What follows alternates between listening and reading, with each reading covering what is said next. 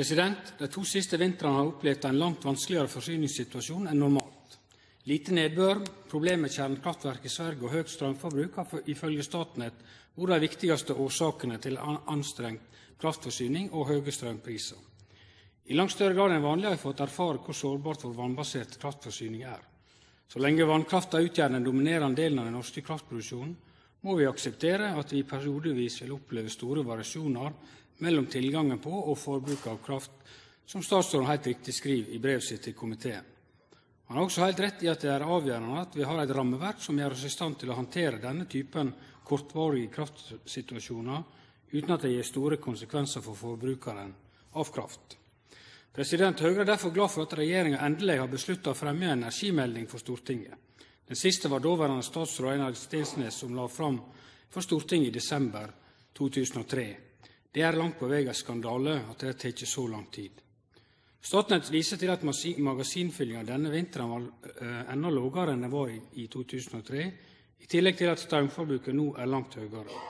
Når situasjonen likevel ikkje er meir dramatisk i dag, så skuldast det at vi har betre forbindelser til utlandet, og dermed større mulighet for import av kraft, i tillegg til at vi har eit gasskraft i gang i Kårstø. På den bakgrunnen er det eit stort paradoks at vi i dag har ein energiminister som vil begrense utbygginga av overføringskapasitet til resten av Europa. Olje- og energiministeren vil dermed gjere oss til et meir avhengige av at det regnar og bles her i landet. Han representerer dessutan eit parti som i si tid gjekk ut av regjering på grunn av sin motstand mot nettopp gasskraftverk på Kårstø. Medan dåverande statsråd Stensnæs la fram ei stortingsmelding om forsyningssikkerheita, har altså dagens olje- og energiminister signalisert ein politikk som vil svekke vår forsyningssikkerheit. Høgre er fundamentalt uenig i olje- og energiministeren i dette spørsmålet. Vi meiner at vi treng fleire, ikkje færre utanlandsforbindelser. Det vil styrke vår forsyningssikkerheit fordi vi då kan importere kraft produsert med andre energikjelder når det er tørt og kaldt her i landet, og har lite vann i magasina, slik det har gjort de to siste vintrene.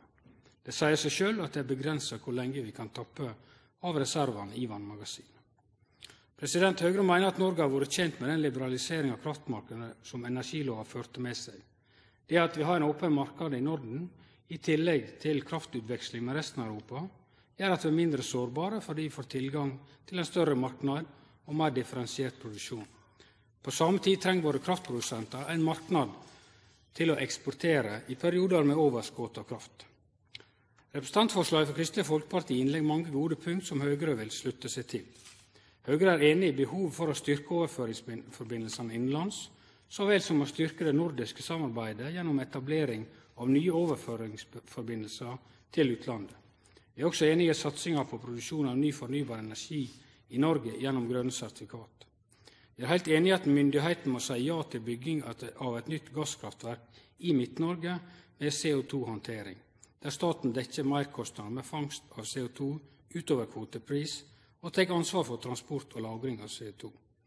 Høgre er også heilt einig i at det er behov for en betydeleg satsing på energieffektivisering, og at det så raskt som praktisk mogleg bør innførast avansert målesystem hos straumkundane. Høgre er imidlertid ikkje enig i alle forslag. Det gjeld bl.a. å innføre ein parallell til kilekostnader dersom eit kraftselskap ikkje er i stand til å levere straum.